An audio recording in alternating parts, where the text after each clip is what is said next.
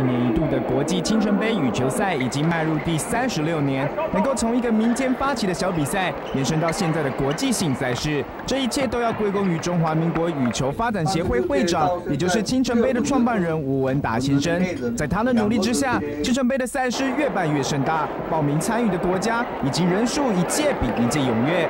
而这一次的比赛，除了国手之外的选手，最受到瞩目的就是高龄九十三岁的羽坛常青树黄鹏生。我从小就喜欢运动，就喜欢打打运动。可是，呃，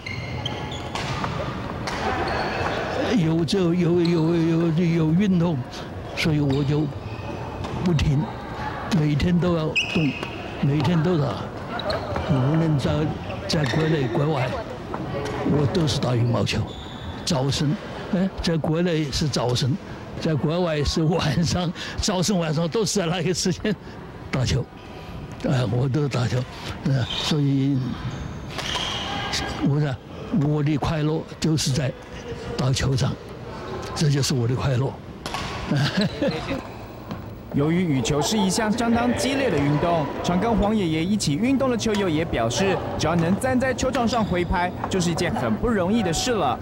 当然，这个比不上普通一般人的那么有那个力气，跑也跑不动。只不过是他是靠着这个爱好这个羽毛球的这个心情之下，每天就是不放弃来动它而已了。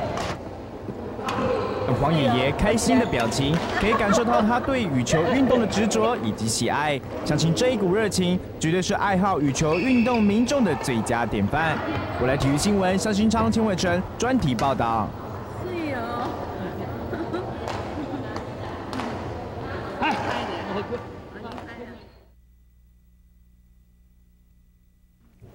第三十六届青春杯及第三届世界壮年羽球锦标赛，二十号即将在台北市立体育馆热闹登场。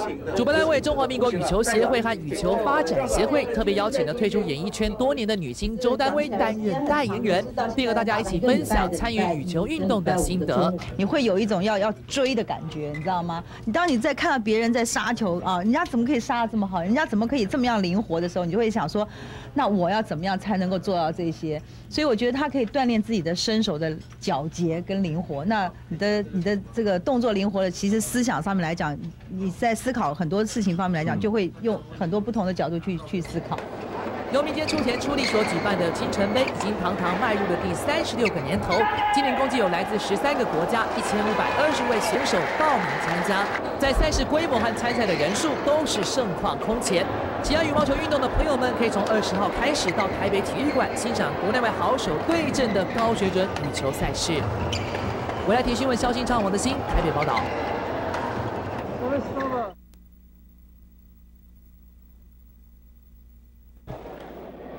篮球场上看见三对三不稀奇，羽球也有三对三，那可就没听过了吧？第三十六届青城杯的其中一个组别就叫做三 P 组，也就是三对三的羽毛球赛。比赛规则顾名思义，就是要一队三个人。而这一个特别的比赛，是由中华民国羽球发展协会会长吴文达专门为年过六十岁以上的参赛者所量身定做的哦。因为本人已经打了四十年，哎，可是。到处他们都讲，哎呀，我们年纪大了，不打了，不打了。哦，有这样的他们的过想，所以本人呢想起了，哦，那这样子三个人来打，很轻松，哦，所以这样的来鼓励大大家来，哎，所以我们去年开始，假如没有得奖的，我们有都有高级球拍送给他，啊，今年也是一样，所以很多很多人呢都来参与这一项运动，嗯。观众朋友可能会很好奇，小小的羽球场里面要挤下三个人，要怎么打球啊？会不会有可能三个人不小心撞在一起，或者是拍子打到人呢？其实这样的状况在比赛当中不常见，因为三 P 的规则很简单，站位也有一定的限制，两个人站在前面，一个人站在后面，前面的负责发球，而后面的不但是要三个人里面最年轻，或者是活动力最好的，而且只能接球，不能发球。三对三羽毛球赛可不是人人都可以参加的哦。报名参赛的选手必须三个人加起来超过两百岁，而这样子的画面还真是不常见。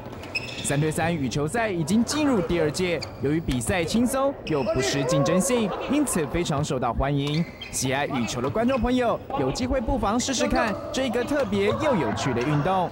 我来体育新闻，肖金昌、钱伟成专题报道。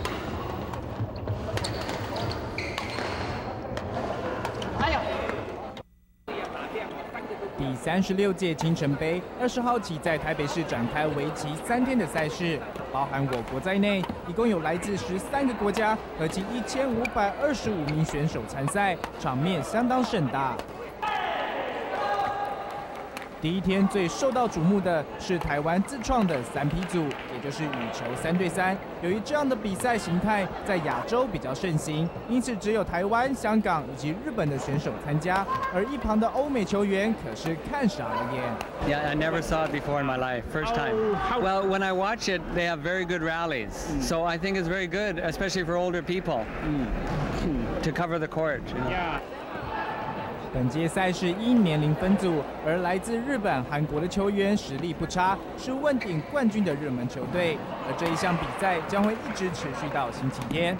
我来体育新闻，周光耀、钱伟成，台北报道。两千零七年青城杯四十五岁父子女双打的冠军战，跟去年的决赛对阵戏码一模一样。有穿了蓝白色系球衣的张文松父子面对蔡志成父子，整场比赛张文松、张威豪一路领先。尽管比赛的中段张威豪出现失误，张文松都会马上提醒儿子该注意的地方。打出精彩好球的时候，父子俩还会以球拍轻拍对方，相互打气。结果张氏父子就是以二十一比十一获胜，暴走冠军。今天这一场，我特地跟我我我们张伟豪讲说，打球一定要哦，这一场一定要好好打，哦要哦不可能说哪个家族还打输打输对方哈，所以这场我们就很谨慎打。因为他以前成绩这么好啊，那我现在还没打出来，所以理所当然是会觉得说那个压力很大。星城杯打出佳绩，也让张文松对于下周开打的第三届世界壮年羽球赛更加有信心。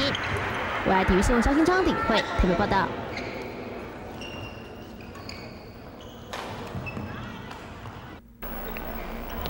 金城杯进入倒数第二天，许多组别都已经进入到最后的决赛。虽然画面上这些选手都不是羽球专项出身，但是比起赛来气势也是下下叫。今天场上最受到瞩目的就是公开组的比赛，因为公开组的参赛选手每一个都大有来头，不是退休的国手，就是甲组退下来的猛将。前中华羽球国家队的教练刘文宏也是参赛选手之一，他的对手张文松则是过去称霸羽坛的男单好手。从两个人激烈的对战来看，似乎都有备而来。往前小球、跳杀都还保有相当的水准。经过一番拼斗，最后比较年轻的刘文宏技高一筹，以十五比十、十五比七直落二拿下胜利。青城杯将在隔天进行最后一天的赛事，而所有组别的成绩届时也将会出炉。我来体育新闻，黄一郎、钱伟成，台北报道。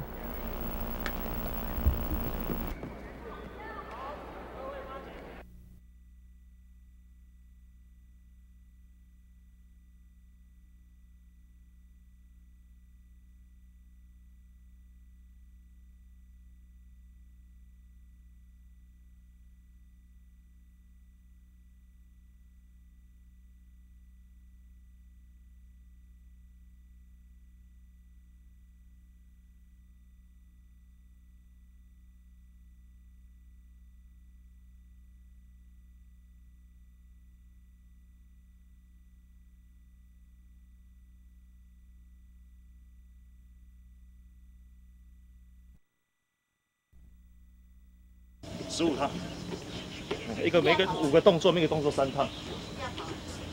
对啊，几点了？